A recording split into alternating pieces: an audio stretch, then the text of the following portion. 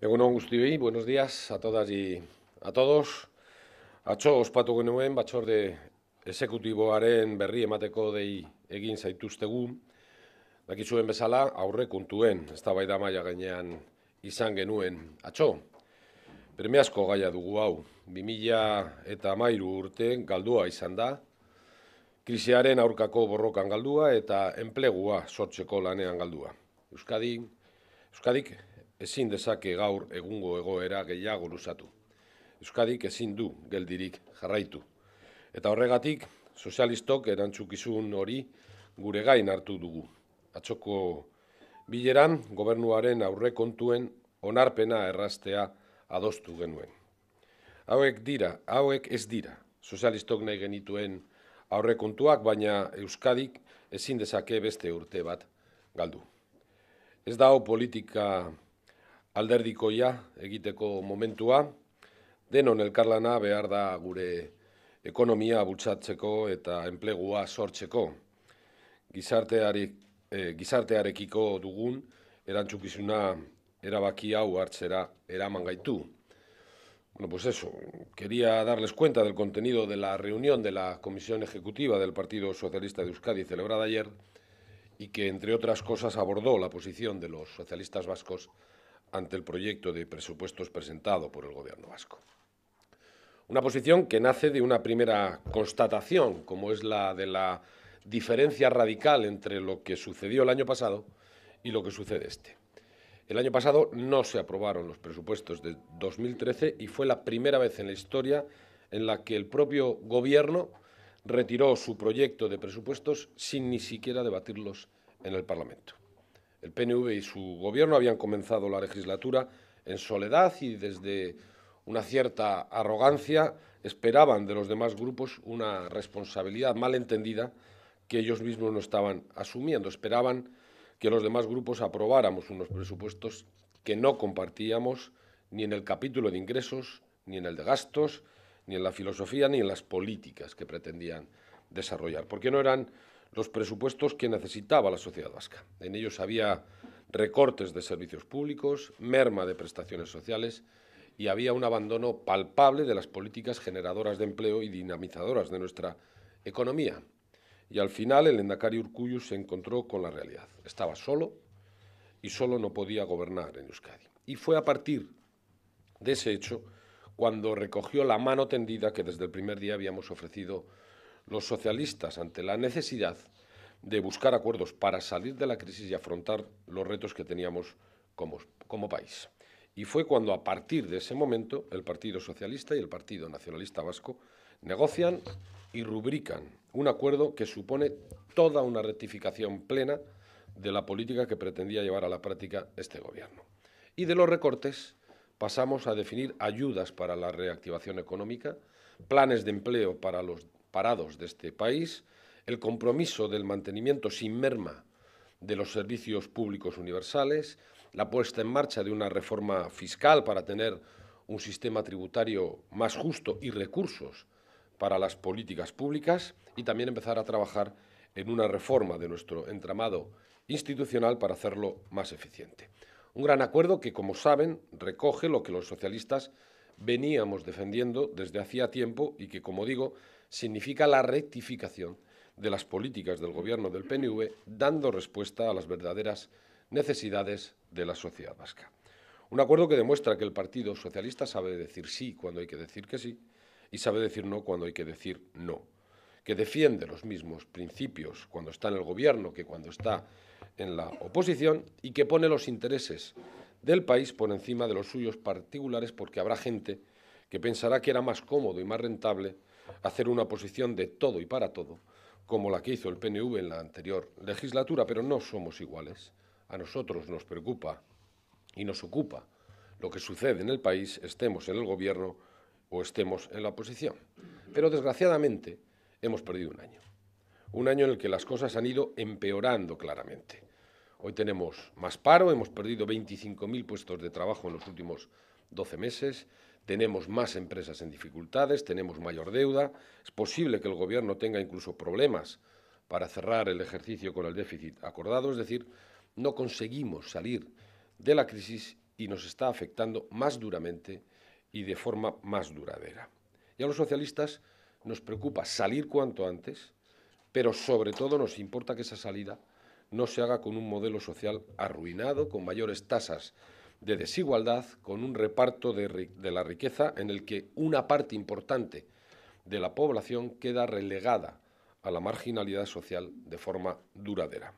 Cuatro datos macroeconómicos que según el Partido Popular empiezan a mejorar, y no lo voy a cuestionar, no solucionan el enorme problema social que se ha creado en los últimos tiempos, especialmente con sus políticas de recortes y de retrocesos.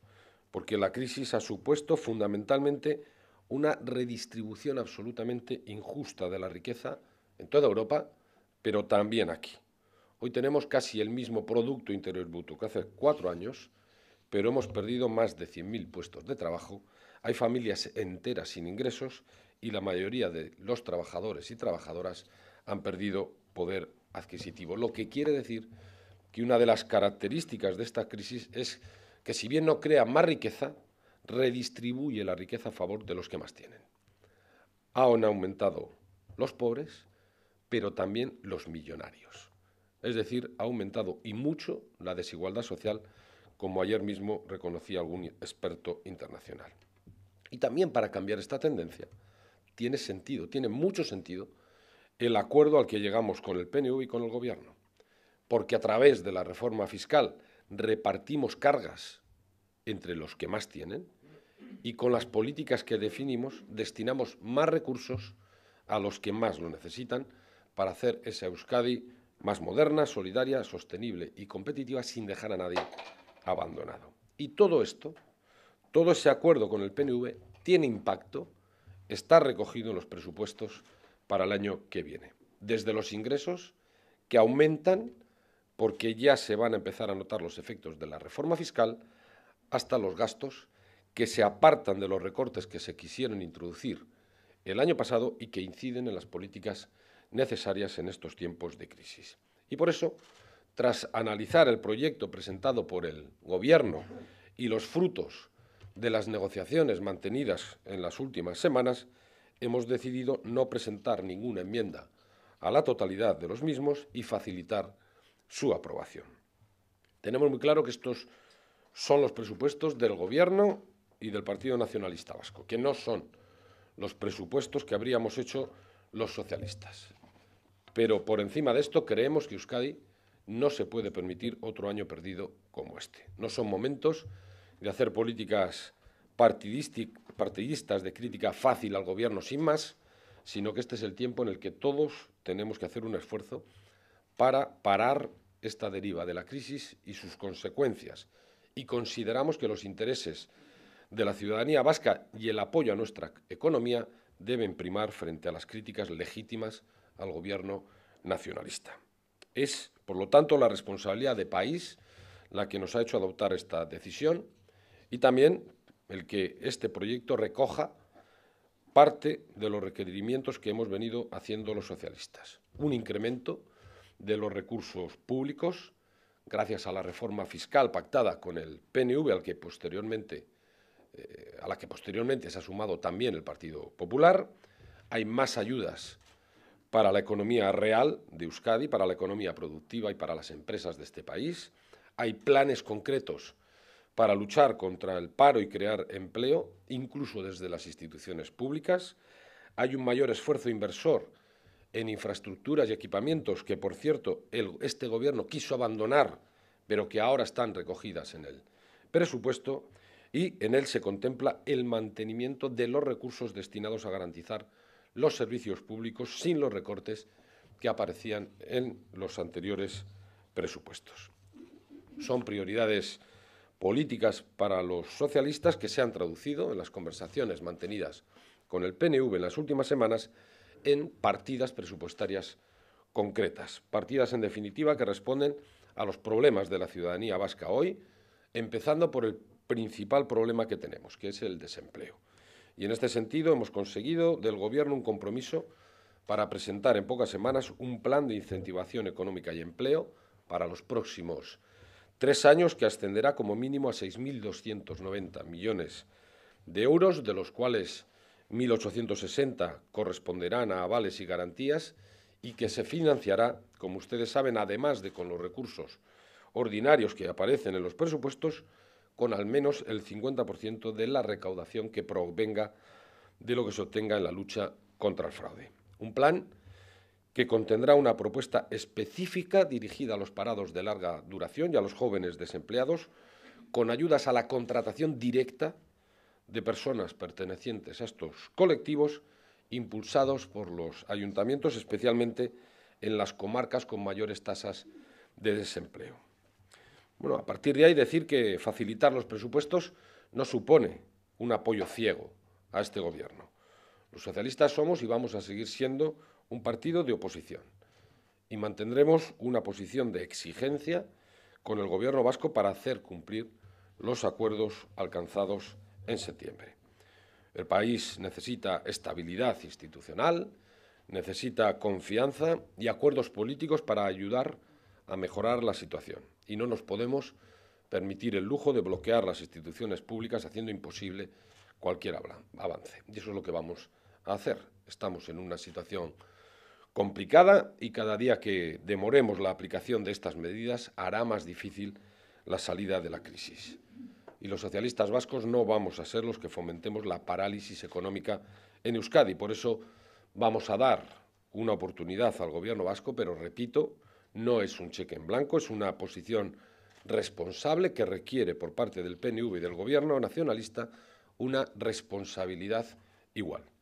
Queremos que el año que viene sea el año en el que empecemos a salir de la crisis, en el que empecemos a crear de nuevo empleo y que este sea el último año en el que seguimos perdiendo puestos de trabajo. Y para eso hace falta el esfuerzo y la voluntad de todos, de todas las instituciones, de todas las fuerzas políticas y los socialistas vascos estamos asumiendo la responsabilidad que nos corresponde y ofreciendo colaboración para mejorar el país y las condiciones en las que vive hoy la sociedad vasca. Esperemos que el Gobierno sepa aprovechar esta oportunidad para que el año que viene no sea otro año perdido. Y a partir de ahí, lo que quieran preguntar. Sí, Pachi, dos cosillas. Una has comentado de pasada que podría tener dificultades el gobierno vasco para cumplir el déficit acordado a final de año. Quería saber si se, han comentado, si se ha contado algo del Ejecutivo en este sentido. No, no, es una estimación de por cómo van las cosas, no es otra hecho que podría. Nada más. Y la otra, eh, entiendo que vuestra postura en estos momentos sería la abstención. ¿Descartáis eh, que te vais a seguir negociando para intentar llegar a un sí o os vais a quedar en abstención? Las negociaciones sobre un presupuesto no acaban hasta el último día en el que se produce la última votación. ¿no? Nuestro compromiso es facilitar las cuentas y en este momento es verdad que nos inclinamos por una abstención crítica, como se suele decir.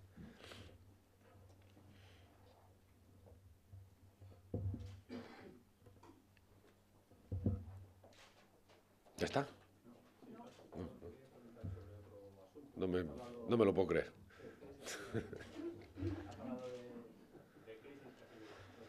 el expresidente del gobierno va a presentar sus memorias. Yo te quería preguntar dos cosas sobre lo que ya hemos podido conocer de ese libro. Si fue un error negar la palabra crisis, que él quiso no decir crisis, y si fue un error también, eh, él viene a decir que en tres ocasiones eh, negó la, la ayuda al rescate. No quiso acogerse al rescate porque quería que el país no perdiera eh, potencial propio. No sé tú si crees que la política que ellos acepta y esos dos aspectos, ¿cómo los ves? Bueno, él mismo reconoce que fue un error negar la palabra crisis cuando estábamos en una crisis y además profunda. Y segundo, me parecía, me pareció en aquel momento y me ha parecido siempre una política inteligente eh, hacer todo lo que estuviera en nuestras manos para evitar el rescate que hubiera puesto a este país en unas condiciones todavía mucho peores de las que estamos. Es verdad que algunas de las medidas que se adoptaron para evitar este rescate, yo ya lo he hecho muchas veces, eh, eh, no me parecieron las más acertadas ni las más oportunas, porque no eran medidas acordes a los principios y a los planteamientos del Partido Socialista. Sí, a mí sí me gustaría hacer una pregunta sobre el tema presupuestario, porque ha recalcado como logro del Partido Socialista ese plan de incentivación económica y empleo en unas cantidades que ya habían sido anunciadas por el propio Nacario Cuyo, ¿no? más de 6.000 millones de euros. Claro, pero las anunció después del acuerdo, ¿verdad? Sí, pero bueno, eran conocidas. En el seguido has apuntado que 1.300, perdón, 1.968 millones se van a destinar a, a vales. A vales, además, además, de eso que ya se conocía, ¿qué, otro, qué, qué logros concretos ha conseguido el Partido Socialista en esta negociación previa? No sé si te parece poco. Quiero decir que el impacto de la negociación con los socialistas sea de 6.200 millones en tres años, que el impacto de la negociación con los socialistas y la rectificación que ha tenido que hacer el gobierno sea eh, destinar los mismos recursos que se destinaron en años anteriores, no en el presupuesto fallido, sino, sino en anteriores, para mantener la totalidad de los servicios públicos universales sin los recortes que nos había anunciado por activa y por pasiva el propio Lendakari Urcuyu, que el impacto de la negociación eh, de los socialistas sea que efectivamente, en lugar de desmantelar o que fueran desapareciendo esas políticas que ayudan a nuestra economía, a las empresas, que eh, ponen pista planes de empleo específicos, y como digo, no es poco importante, incluso con contratación directa de desempleados de los colectivos de más difícil inserción, si te parece poco el impacto que tiene esa negociación en los presupuestos, comparemos con lo que eran los presupuestos originales del Partido Nacionalista Vasco. Y veremos que hay cientos de millones que se han movilizado en sentido, en ocasiones radicalmente contrario al que, al que pretendía el gobierno. Incluso hay infraestructuras que el gobierno negó y que iban a desaparecer, no sé, el metro de Donostialdea, el hospital de Ibar, eh, la variante de Hermo, unas cuantas cosas que hoy están en los presupuestos y que antes no estaban y que a los socialistas nos parecían fundamentales por lo que significan, sí, de inversión y generación de empleo, pero también por lo que significa de eh, infraestructuras que darán más valor añadido a, a la propia Euskadi. Pero por otra manera, aparte de estos logros que efectivamente forman parte de aquel acuerdo que eh, anunciasteis, que contasteis con el, con el Urcuyu y con los niños Putan en la Caricha, uh -huh. esta, estas partidas forman parte de aquel acuerdo.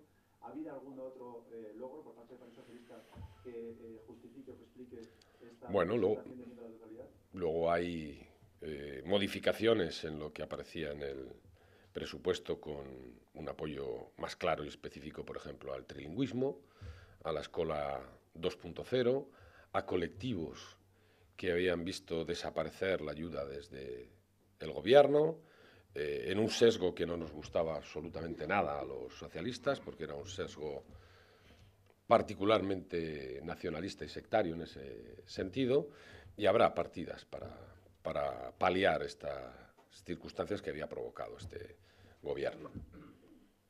Eso es la, la letra pequeña, ¿eh? de, comparado con lo, con lo otro que acabo de decir. Decía que, él, decía que el, la negociación presupuestaria no se cierra hasta el final. ¿Eso quiere decir que eh, el Partido Socialista va a seguir negociando para que el presupuesto incluya otra serie de partidas, otra serie de compromisos? Y de ser así, ¿cuáles serían? Bueno, pues estoy hablando de algunos de ellos, ¿no? de estos colectivos, de estas eh, eh, políticas que queremos que tengan más respaldo y que estén más nítidas en los presupuestos, que tienen mucho que ver con lo que inició el gobierno socialista en la anterior legislatura y que, bueno, he nombrado algunas de ellas, eh, trilingüismo, escola 2.0, en educación, las becas de excelencia, algunas otras cuestiones que queremos ver reforzadas en estos presupuestos y que estamos convencidos de que esa negociación dará sus frutos y que efectivamente todavía avalará más la posición de, de facilitar las cuentas. ¿Negociación como para pasar de la. No, vamos a facilitar los presupuestos. Le repito la pregunta, ¿negociación como para pasar de la No sabemos.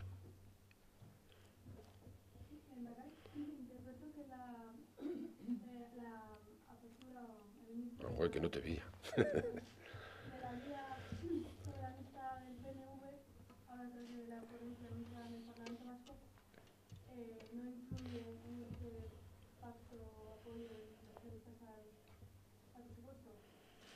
Bueno, todavía no sé si es la apertura de una vía soberanista.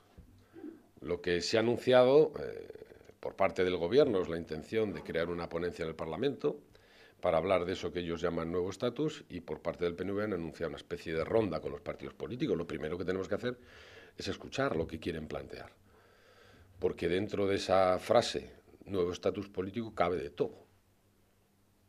Y ustedes saben que la predisposición del Partido Socialista ha sido siempre hablar y incluso tener voluntad para mejorar lo que ahora tenemos, no para empeorarlo. Y ahora tenemos un estatuto que garantiza un marco de autogobierno a Euskadi como no existe parangón en el mundo. No existe capacidad de autogobierno seguramente en ninguna otra comunidad autogobernada en el mundo.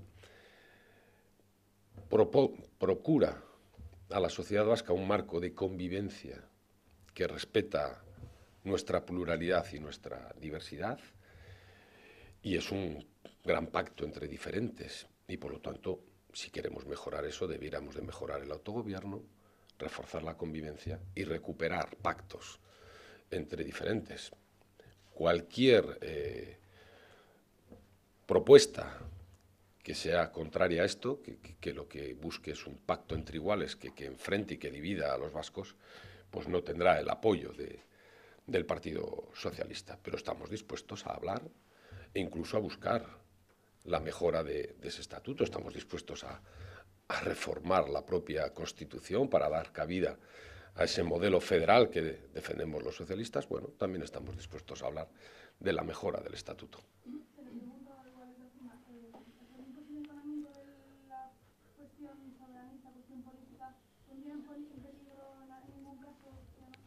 Lo que no debiera es desviar la atención de lo fundamental en estos momentos, ¿no?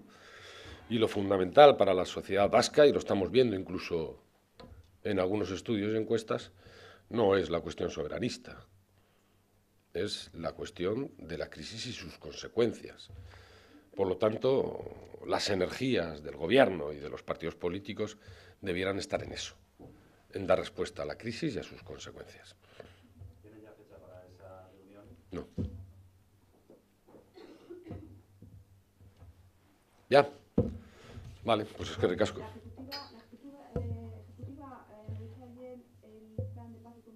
No, no, fue monográfica de, de, presupuestos. Ustedes saben de todas formas que, que, fuimos críticos con el anterior plan de paz. Este ha sido modificado y ha sido modificado yo creo que en la buena dirección. Eh, en algo que decíamos los socialistas y otras fuerzas políticas. Uno tiene que, partir cuando quiere hablar de un plan de paz y de convivencia en este país de unos mínimos éticos que lo que definan es una sociedad también con valores éticos, morales y democráticos. Bueno, eso parece que se ha introducido en esta nueva reforma del plan, lo analizaremos con detenimiento y seguramente los próximos días las próximas semanas haremos una valoración más precisa. Sí, me gustaría, hablando de presupuestos... no habíamos acabado. eh, eh, el Partido Socialista en el Ayuntamiento de Bilbao ya anunció también su disposición a, bueno, se abstuvo en la presentación de ingresos a la totalidad, lo está haciendo el Partido Socialista, lo está anunciando respecto a los presupuestos del Gobierno vasco. Eh, ¿Va a ser esta un poco la tónica que va a utilizar también el Partido Socialista en otras instituciones gobernadas por el PNV y hasta qué punto espera también una respuesta recíproca por parte del PNV en aquellos ámbitos institucionales que, que? Es que es una respuesta en este momento, yo creo que de país. El que haya presupuestos bien orientados, claro, que estén avalados por diferentes partidos políticos que puedan salir adelante y que por lo tanto empiecen a plasmar las políticas en ellos contenidos, eso da estabilidad institucional, eso da confianza social pero eso permite hacer políticas contra la crisis y esa es la voluntad del Partido Socialista en el gobierno y en las demás instituciones. Claro, eso necesita corresponsabilidad, ¿no? Eso necesita que todos entendamos que estamos en ese momento y que es preferible tener unos presupuestos bien orientados y apoyados por distintas fuerzas políticas que jugar a la oposición de tierra coemada sin importar lo que suceda al país o a la, o a la sociedad. ¿Eso, lo trasladaría a otras instituciones? eh, Sí, lo acabo de decir. Lo acabo de decir, que-. Acabo de decir que la voluntad del Partido Socialista es que si los presupuestos están bien orientados, es decir, si no son como los que presentó el año pasado el gobierno vasco y contienen políticas para eh, atacar las consecuencias de la crisis y para procurar la salida de la crisis, es decir, políticas de apoyo al entramado empresarial, al, tejido económico, políticas que combatan el desempleo, políticas que garanticen y sostengan los servicios públicos o las políticas sociales en, en otras instituciones. Eh, estamos dispuestos a hablar, a sentarnos y a, y a buscar también la facilitación de esos eh, presupuestos. A mí me gustaría saber qué opinión tiene Pachi López sobre Susana Díaz.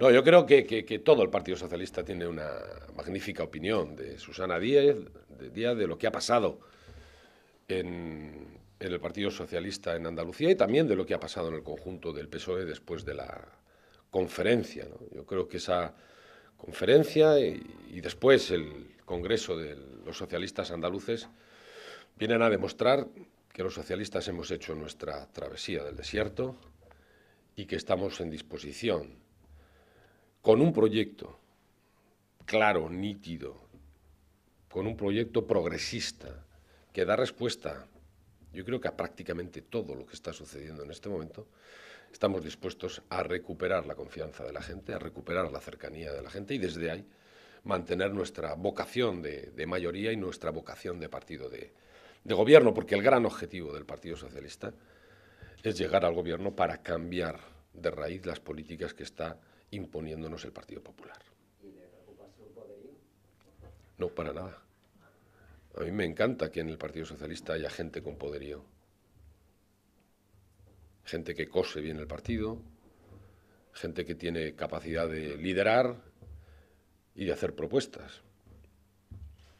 Y lo que me parece que demuestra que el Partido Socialista es un partido vivo es que hay gente de estas características dispuestas a dar un paso adelante. ¿Ya?